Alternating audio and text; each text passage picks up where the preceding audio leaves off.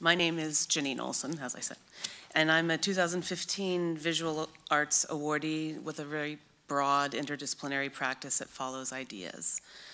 Recently, I'm into theater, experimental music, metallurgy, archaic photographic techniques, blowing glass, weaving, and just to round it out, 3D video. My creative capital project, A Humane Matter, is a series of works including performances, objects, and videos mining late capitalism's alienating effects through material extraction and labor. With humor, pathos, and an interest in traditional craft and industrial production, this project forms various parafictions that are absurd and also dead serious. I collaborate with amazing performers in videos and live work that enact compositions based on the idea of conduction that is material, musical, and social. I'm also making a catalytic I'm also making catalytic instruments and objects that alter the body's function in relationship to representation. We're watching the aforementioned 3D video called Figures of Speech made this winter for a show at Sculpture Center, which was a really fruitful annex inside of my larger creative capital project. And unlike now, you would have worn 3D glasses to see images of the performers altering materials, smelting, pouring, and hammering copper into wire, rolling and forming clay into a large cone, using their bodies as instruments of linguistic musicality, and ultimately making the clay and copper wire speaker sculpture seen alongside the video. It was shot in a metal shop and a recording studio, two unseen areas of production. What they're making requires changes in materials, which is also the means for sound to be heard and transmitted. I use 3D technology and, and, red cyan lighting to talk about the formation of an image to give an optical sense of physicality.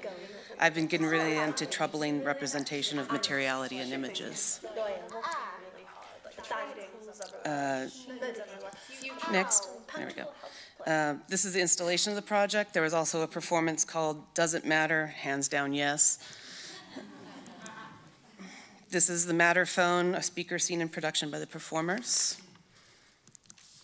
This is a three-dimensional version of a 3D anaglyphic image, 3D printed, sort of a haptic hologram.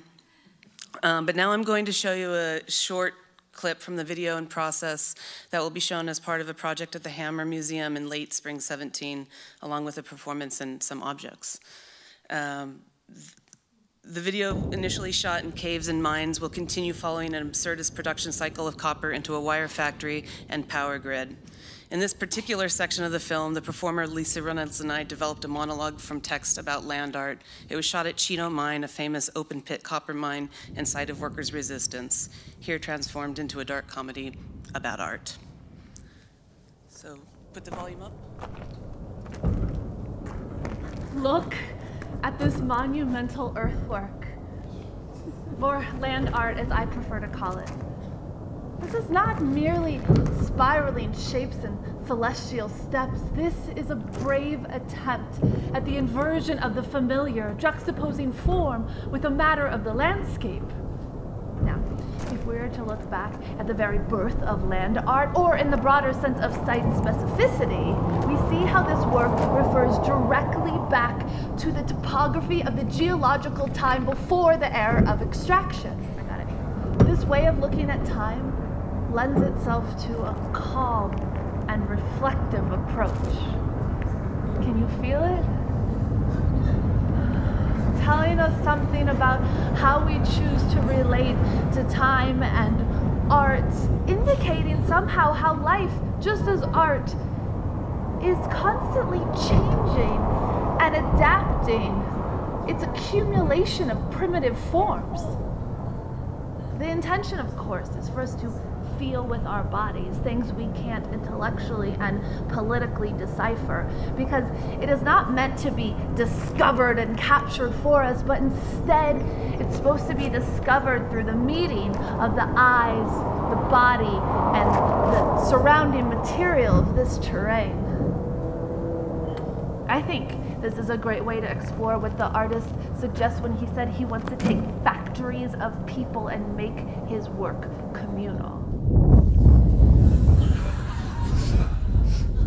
Okay. In closing, I'd really be really happy to talk to anyone about any of the aspects that I can't talk about in five minutes.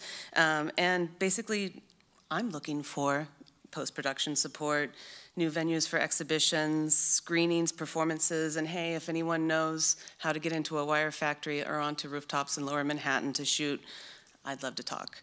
Thank you so much, Creative Capital, and thank you all of you for your time.